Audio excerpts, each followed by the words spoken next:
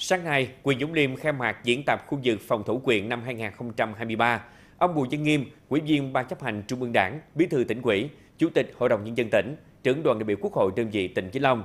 trưởng ban chỉ đạo diễn tập tỉnh Vĩnh Long, ông Lữ Quang Ngời, Phó Bí thư tỉnh ủy, Chủ tịch Ủy ban nhân dân tỉnh, các đồng chí trong ban thường vụ tỉnh ủy, ban chấp hành đảng bộ tỉnh, lãnh đạo các sở, ban ngành đoàn thể tỉnh và lãnh đạo các quyền thị xã thành phố trên địa bàn tỉnh đến dự.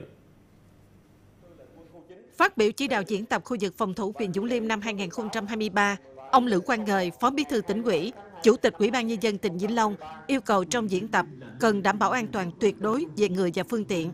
Trong giai đoạn vận hành cơ chế gắn với thực binh phải vận dụng linh hoạt, sát với nội dung ý định diễn tập, phù hợp với tình hình và điều kiện của địa phương, thể hiện tốt vai trò lãnh đạo chỉ đạo của các quỹ đảng, khả năng điều hành của chính quyền, vai trò làm tham mưu, tổ chức thực hiện của cơ quan quân sự, công an và các ban ngành đoàn thể trong các trạng thái quốc phòng và trong các tình huống diễn tập.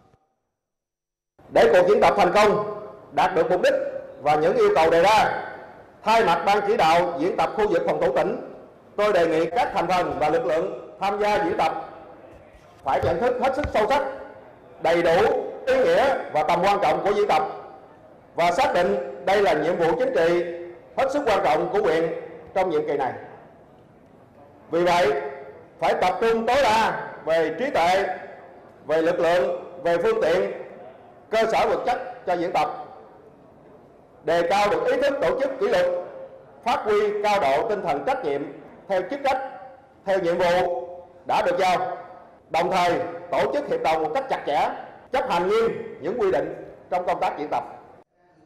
Diễn tập khu vực phòng thủ huyện Dũng Liêm chia thành 3 giai đoạn, chuyển lực lượng vũ trang huyện vào các trạng thái sẵn sàng chiến đấu, chuyển địa phương vào các trạng thái quốc phòng, tổ chức chuẩn bị tác chiến phòng thủ và thực hành tác chiến khu vực phòng thủ huyện. Bên cạnh các cuộc họp vận hành cơ chế, trong diễn tập khu vực phòng thủ huyện Dũng Liêm cũng đã diễn ra thực binh tình huống giả định. Trong chiều nay, diễn tập khu vực phòng thủ huyện Dũng Liêm diễn ra các nội dung vận hành cơ chế. Ban chấp hành đảng bộ huyện quán triệt nghị quyết của Ban chấp hành đảng bộ tỉnh ra nghị quyết lãnh đạo chuyển địa phương sang thời chiến. Hội đồng Nhân dân quyện, Ủy ban Nhân dân quyện tổ chức thực hiện nghị quyết của quyện quỹ. Song song đó, các cơ quan khối đảng, khối chính quyền, đoàn thể, công an, quân sự họp quán triệt nghị quyết của quyện quỹ và điều chỉnh kế hoạch của ngành trong thời chiến. Diễn tập khu vực phòng thủ huyện Dũng Liêm năm 2023 diễn ra trong ngày 5 và ngày 6 tháng 7.